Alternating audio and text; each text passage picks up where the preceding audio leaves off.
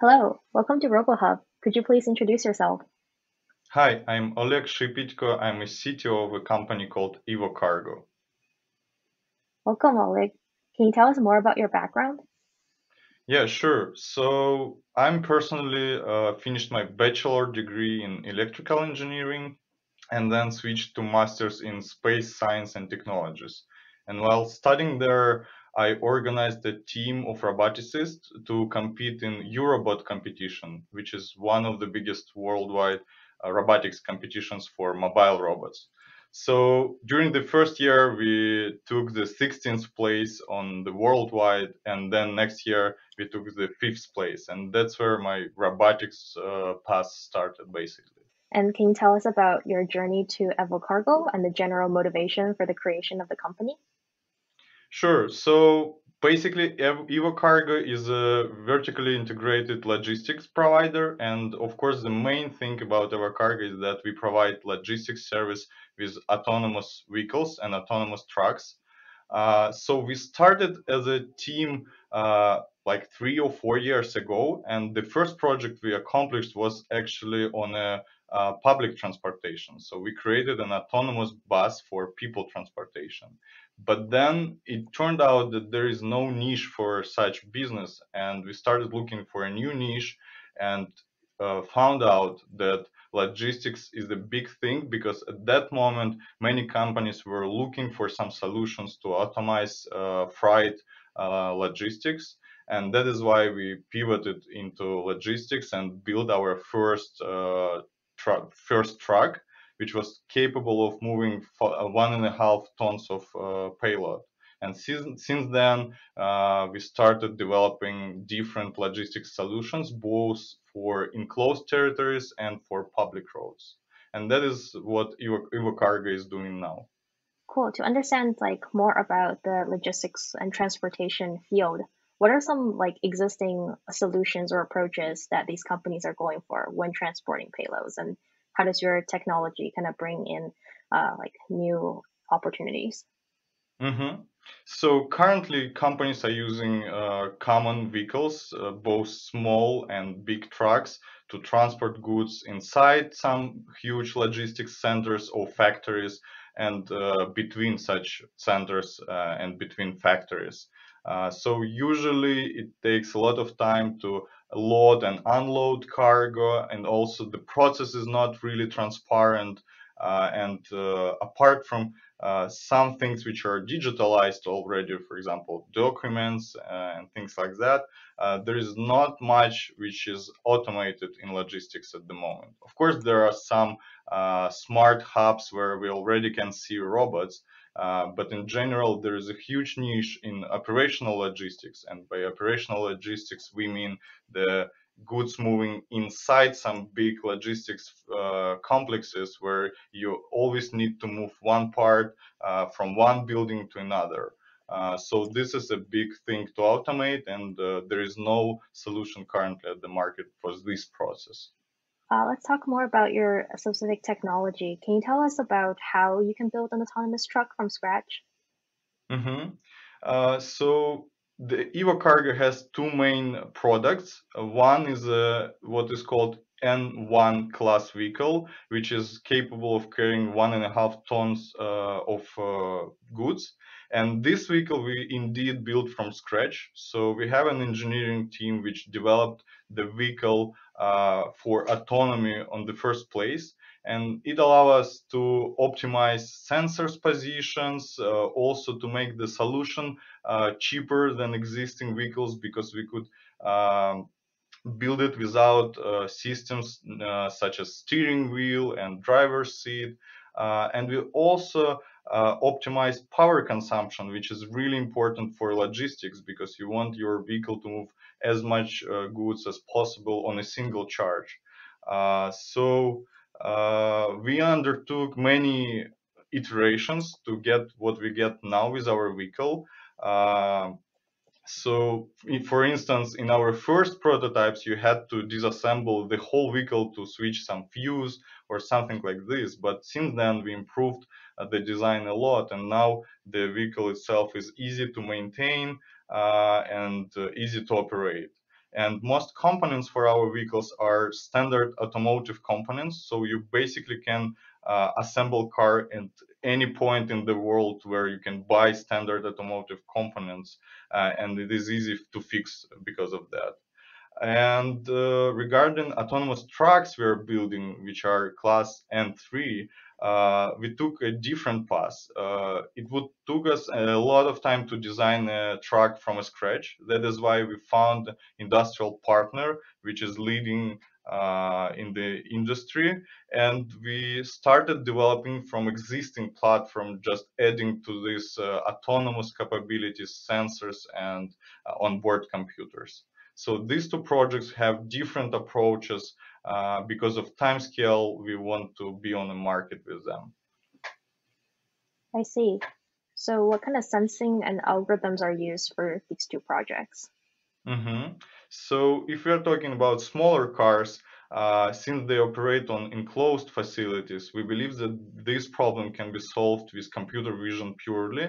That is why our small vehicles are equipped with cameras and majority of algorithms are working on them are using uh, visual sensors as an input. Uh, we have both visual navigation, which can recognize buildings, different objects, uh, other road participants, linear markings, and so on. Of course, we are also using GNSS sensors for global positioning and all other standard kinds of sensors. If we are talking about bigger vehicles, the safety and speed requirements are much higher. That is why uh, there we apply also LiDARs for object detection and road recognition. In the smaller vehicles, sorry. In the smaller vehicles, from the very beginning, uh, we had to think about final customer and that is why uh, lidars uh, as an expensive sensors uh, would increase the cost of the platform itself a lot. That is why we tried to make these platforms as cheap as possible. And also, as I said, because of uh, small uh, speeds requirements uh, and smaller dynamics on the roads in enclosed facilities, this problem can be solved with cameras, as we believe.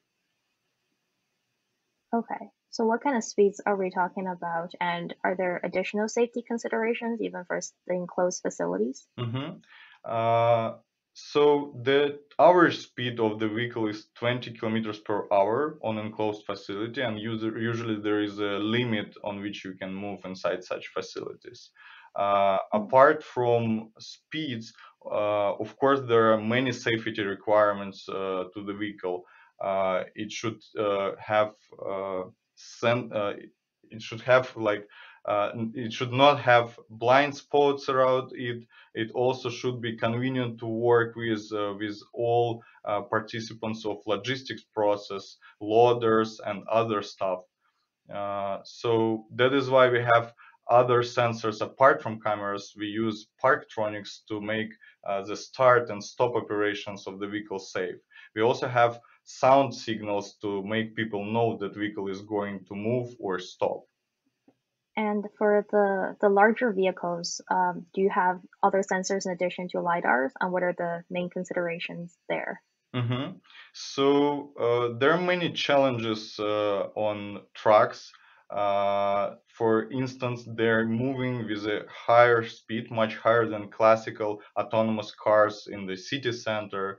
Uh, so the sensing range should be much higher. That is why apart from LiDARs, we also use cameras for longer ranges. We use radars, inertial measurement systems for positioning, and of course GPS receivers to know globally where we are.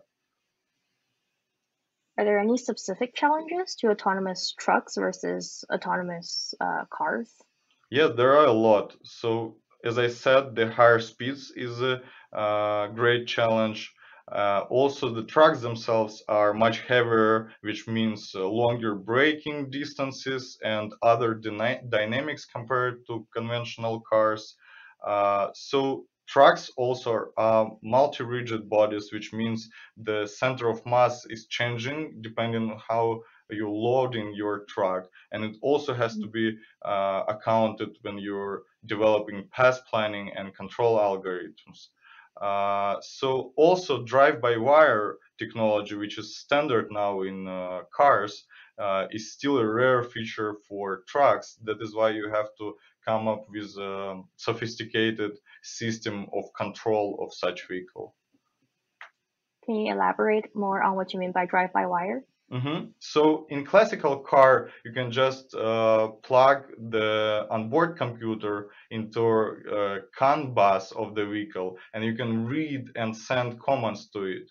Uh, so you can know how your steering wheel is turned, on which angle it is turned, uh, what is the current vehicle speed, and you can also control all uh, mechatronics of the car. In uh, trucks, sometimes some components are not electrical and that is why you have to come up with some other feedback uh, systems to read how your steering wheel is turned or with which speed you are moving currently. So with all those additional challenges and requirements, you mentioned earlier stage there's iterations of your design.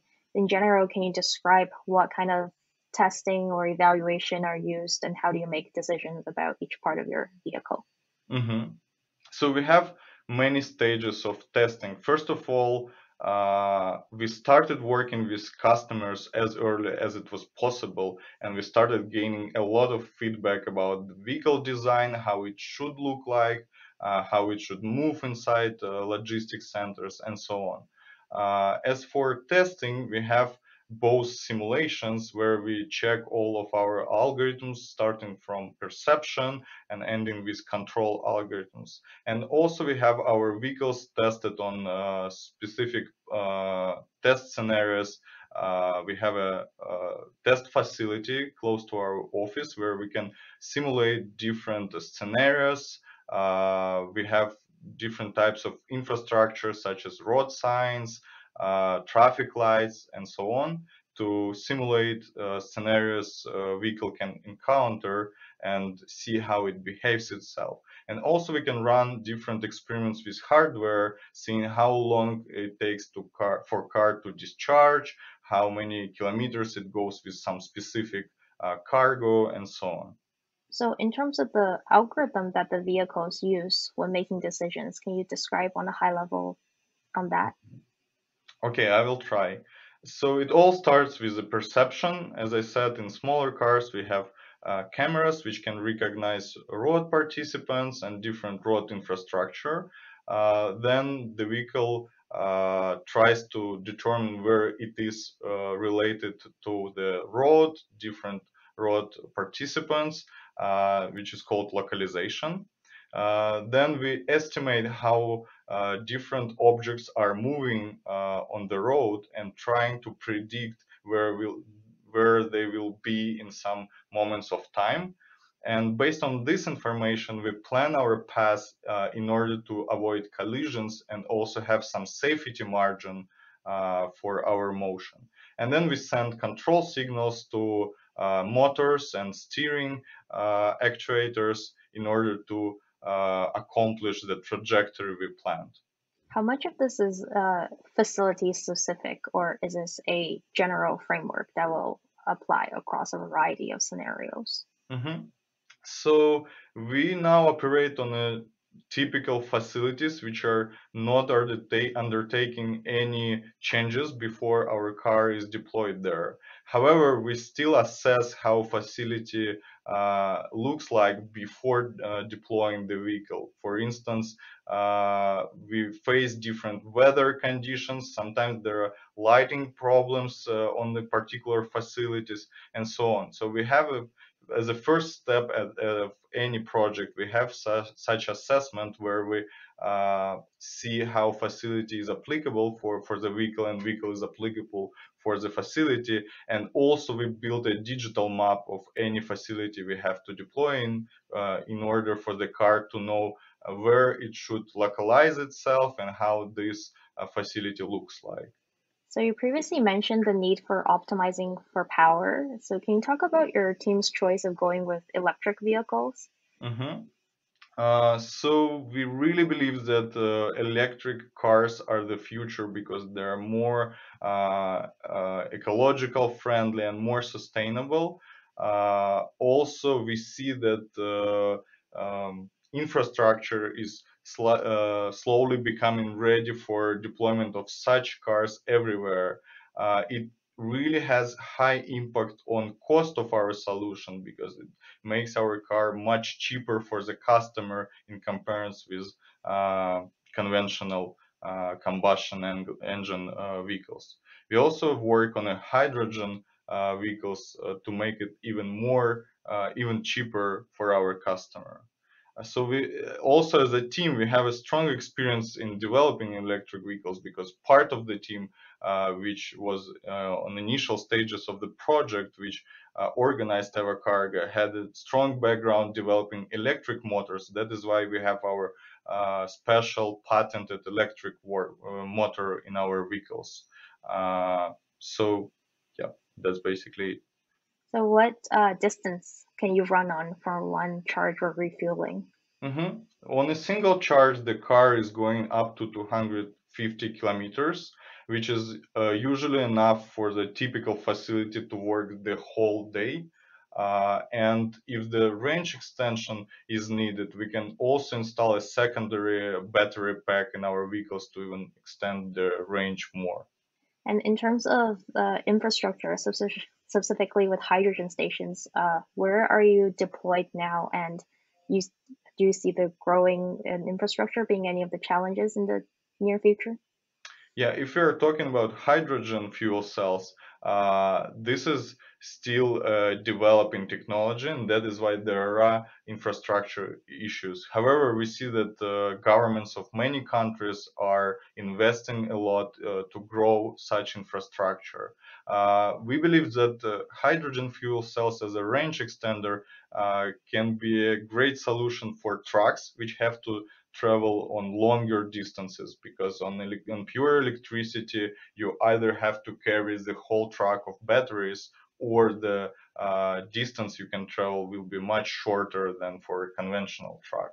So for trucks, hydrogen is a good solution. Of course, we are still limited with infrastructure, but we see that uh, hydrogen uh, refueling, refueling, stations are uh, appearing slowly in all countries. So I believe that in future, uh, this will be the model for all uh, autonomous and not only autonomous trucks.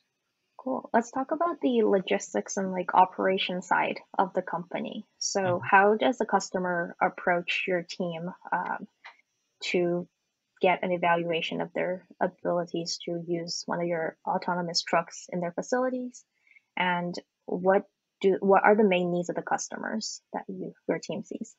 Mm-hmm. So we see that many logistics companies are striving for solution to uh, make their logistics more efficient uh, and more transparent.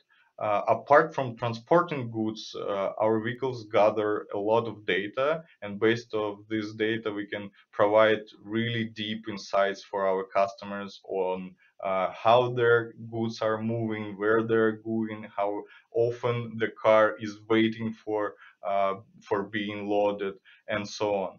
Uh, and also there are many uh, big logistics companies which are concerned with the carbon footprint and for that solution of Evocargo also meets their requirements to be ecological.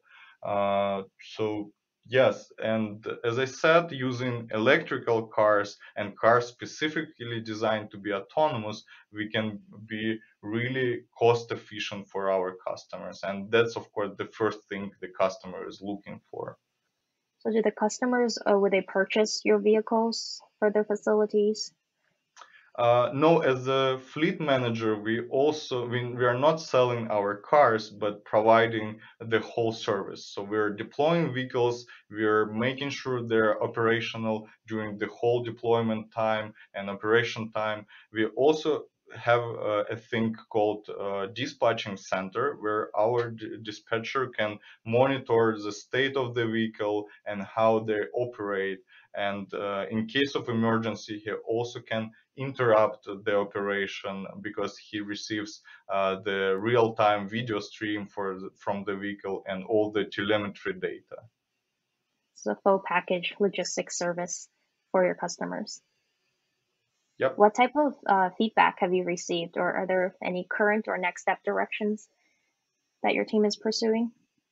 Yeah, as I said, we are constantly working with customers to see how uh, our vehicle uh, can be improved.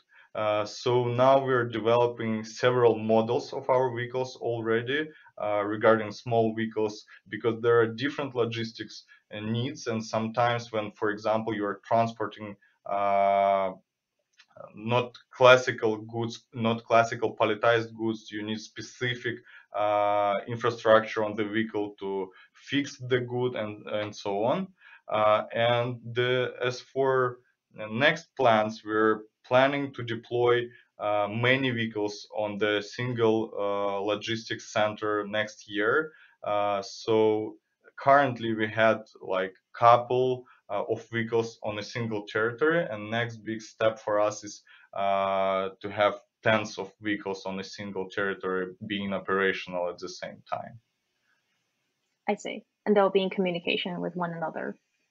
Yeah, through the dispatching center I mentioned previously. What about the um, the larger autonomous trucks? What's the current status on that project and product? Yes, so we will release the first uh, vehicle of such type next year, uh, and we will start tests uh, and we'll uh, again gather feedback on how they operate. And of course, we will work to continuously improve the technology. But the next big step for us for the next year is to deploy first couple of these vehicles and uh, gather the data to improve, improve even further this technology will they be operating will they need special uh, logistics or operational infrastructure for the larger vehicles, such as special lanes or others. Mm-hmm. All uh, as all of our vehicles, we always build them to be fully autonomous. So mm-hmm. we're not expecting any communication or road infrastructure being built specifically for our vehicles. So we try to use current existing infrastructure and to make cars as autonomous as possible, uh, not being coupled with any infrastructure issues. I see. It's very exciting. Looking forward to hearing more uh, updates on Cargo. Yeah, well, that's all the time we have. Thanks again. It was Thank great to speak with you. And that's it for today. As always, simply go to robohub.org forward slash podcast for loads more exciting episodes, news, and views about robotics. And if you have any feedback for us here at the podcast, we're always happy to hear from our listeners. Whether you have a question, want to suggest someone to interview, or maybe would like to get involved with our team, simply email our president Abate at abate.demey at robohub.org. We'll be back in about two weeks' time. Until then, goodbye.